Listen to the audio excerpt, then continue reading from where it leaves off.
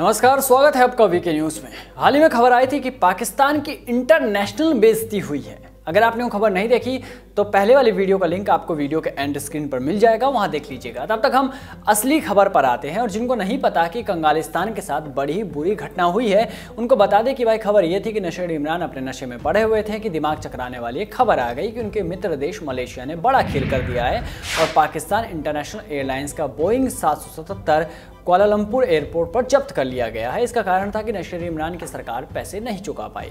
तो मलेशिया ने उनका प्लेन जब्त कर लिया और खबर थी कि यात्रियों को जलील करके बाहर भेज दिया गया है। अब इसमें एक बड़ी खबर सामने आई है पाकिस्तानी मीडिया के हवाले से, जिसके बाद तो पाकिस्तान परस्तों की भी नींद हराम हो जाए। मीडिया रिपोर्ट्स में दावा किया जा रहा है कि जिस कंपनी ने ये विमान लीज पर लिया था, उसका मालिक एक भारतीय है। उनके हिसाब से ये घटना है, पर हमारे हिसाब से ये इंटरनेशनल बेइज्जती है।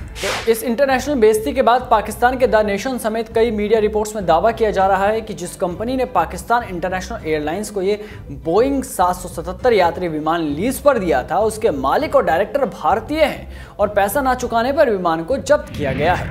रिपोर्ट्स के मुताबिक इस कंपनी का दफ्तर दुबई में है, जहाँ भारतीय मूल के कर्मचारी काम करते हैं। अब यह पाकिस्तानी मीडिया के द्वारा झूठ फैलाने की कोशिश की जा रही है और भारत को गलत दिखाने की कोशिश की जा रही है, ये तो वही जाने। पर इस रिपोर्ट के हिसाब से लगता है कि ना मोदी, ना सेना। एक भारतीय ने पाकिस्तान को उसकी औकात, खैर, वो भी नहीं है जो याद दिलाया जा सके, क्योंकि चीन से इन्होंने पहले ही ले रखा है मोटा कर्ज, आपको मालूम ही है, और अपनी दे रखी है ज़मीन। जी हाँ और दुबई भी अब लेने की तैयारी में है, पाकिस्तान से पैसा, वो भी सूद समेत तो औकात वाली बात यहाँ पे वाजिब नहीं होगी, क्योंकि इमरान पहले ही बेच चुके हैं अपना ज़मीर जी हाँ ज़मीन ही बेच चुके हैं वो। इससे आगे उन्होंने अपनी ज़मीन बेच दी है। तो जितनी पाकिस्तान की बेइज्जती इमरान खान, माफ़ कीजिएगा, नशेड़ी इमरान ने पूरी दुनिया में करवाई है, उससे पूरे पाकिस्तान की कौम को आटे दाल का भाव पता चल चुका है। पहले ही वहाँ लोग भुखमरी से जी रहे थे।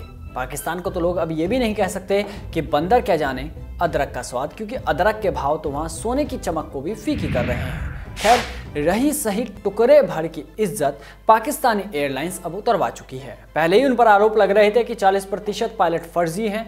अब जैसे तहत से जहाज़ तो उड़ ही रहे थे, पर अब लगता है कि भैया वो भी मुश्किलों में हैं, जहाज़ों के पर भी कटने वाले हैं, क्योंकि एक रिपोर्ट के मुताबिक पाकिस्तान के कई सारे जहाज़ लीज पर हैं।